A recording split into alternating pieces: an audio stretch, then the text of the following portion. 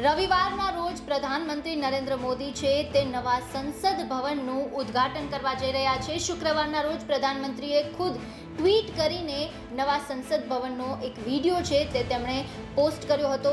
જો કે આ બધાની વચ્ચે હજુ પણ નવા સંસદ ભવનના લોકાર્પણને લઈને રાજકારણ છે તે ગરમાયેલું છે. શું છે વધુ વિગત તે જાણીએ આ રિપોર્ટમાં. અઠ્યાવીસ મે રવિવારના રોજ નવા સંસદ ભવનનો ઉદ્ઘાટન કાર્યક્રમ યોજાવા જઈ રહ્યો છે, પરંતુ તે પહેલા જ રાજકીય ઘમાસાણ મચેલું છે. વિપક્ષ અને સરકાર બંનેના નેતાઓ આરોપ પ્રત્યારોપ કરી રહ્યા છે.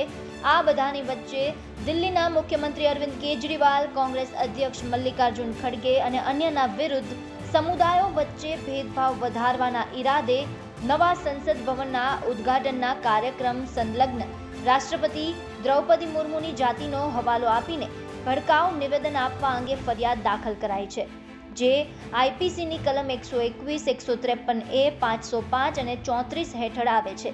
તો આ તરફ નવા સંસદ ભવનનો વીડિયો પણ પીએમ મોદી પોતે પણ શેર કરી ચૂક્યા છે. તેમણે શનિવારે hashtag my parliament, my pride સાથે રીટ્વીટ કરવાની અપીલ પણ કરી હતી. તો બીજી તરફ, બિહારના મુખ્યમંત્રી નીતિશ કુમારે હવે ઉદ્ઘાટન સમારોહના આગલા દિવસે નિવેદન આપ્યું કે નવા સંસદ ભવનની જરૂર નહોતી. આ સાથે જ જેડીયુએ તેના વિરોધમાં રવિવારે એક દિવસના ઉપવાસની જાહેરાત કરી છે.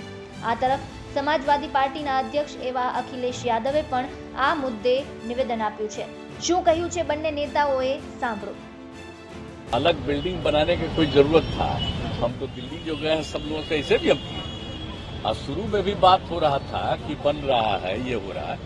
तो हमको तो अच्छा नहीं लग रहा था कि जो इतिहास है, अरे आज़ादी हुई तो जो चीज़ पर फिर जहाँ पर से शुरुआत हो गया तो उसी को और विकसित कर देना चाहिए।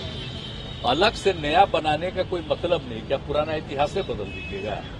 तो तो बेकार है खैर, अब अन्य पार्टियाँ तो और कारण से राष्ट्रपति जी को नहीं बुला करके ये करे, वो सब जो भी कारण है। लेकिन हमसे पूछिएगा तो हमको तो बड़ा ये लगता है कि उसकी क्या ज़रूरत थी अलग करने का। जो था बिल्डिंग उसी को न करना चाहिए था कोई मतलब नहीं है। अब बाकी लोगों को भी हम कहेंगे कि इस बात को समझिए कि भाई आखिरकार नया बनाने की क्या ज़रूरत थी? आवश्यकता क्या थी? आ इतना दिन से शासन चल रहा था तो और किसी को लगा था क्या? लोगों को तो पूरा इतिहास बदलना है, इसलिए सब चीज़ को बदल रहे हैं। संसद नई बनने से ज़रूरी है कि जो लोकतांत्रिक परंपराएँ हैं, उनको बढ़ाया जाए, निभाया जाए। जो लोग विपक्ष का सम्मान नहीं करते और इनके तमाम वरिष्ठ नेताओं की भाषा क्या है, जो लोग नफरत से राजनीति करते हों, नफरत से देखते हो दूसरों को, और सबसे बड़ा सवाल यह है कि लोकतंत्र में जो जनता से झूठ बोले और झूठ को छिपाने के लिए एक एक नया इवेंट करें तो उनके समारोह में क्या जाना? क्या खुशी होगी जनता को?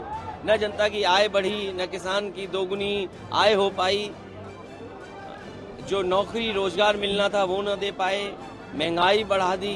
तो उस लोकसभा से जनता को क्या मिलने जा रहा है? આપને જણાવી દઈએ કે અઢી વર્ષથી દિવસ રાત જે સંસદ ભવનને બનાવવામાં આવી રહ્યું હતું, તે હવે કલ્પના કરતાં પણ વધુ સુંદર જોવા મળી રહ્યું છે. વાત કરીએ ઉદ્ઘાટન કાર્યક્રમની તો દિલ્હી પોલીસના સૂત્રોના જણાવ્યા અનુસાર નવા સંસદ ભવનની આસપાસ સુરક્ષા કડક કરી દેવામાં આવી છે. સિત્તેર પોલીસ કર્મીઓ તૈનાત કરવામાં આવ્યા છે. એસીપી રેન્કના અધિકારીઓ સીસીટીવી દ્વારા સમગ્ર વિસ્તાર પર નજર રાખી રહ્યા છે. આ દરમિયાન ચેન્નઈના ધર્મપુરમ અધિનિયમના એકવીસ સંતો ઉદ્ઘાટન કાર્યક્રમમાં હાજરી આપવા અને વડાપ્રધાન મોદીને સુવર્ણ રાજદંડ એટલે કે સેંગોલ અર્પણ કરવા ચેન્નઈથી દિલ્હી આવવા રવાના થયા છે. પીએમ મોદીને આપવા માટે આ સંત પોતાની સાથે એક ખાસ ભેટ પણ લાવ્યા છે. ત્યારે રવિવારના રોજ યોજાનારો આ ઉદ્ઘાટન કાર્યક્રમ રાજનૈતિક દ્રષ્ટિએ ખૂબ જ મહત્વનો છે. બ્યુરો રિપોર્ટ, ગુજરાત તક. જો આપને અમારો આ વીડિયો પસંદ આવ્યો હોય તો લાઈક અને શેર કરવાનું ભૂલતા નહીં. સાથે જ તમામ ન્યૂઝ અપડેટ માટે જોતા રહો ગુજરાત તક. નમસ્કાર.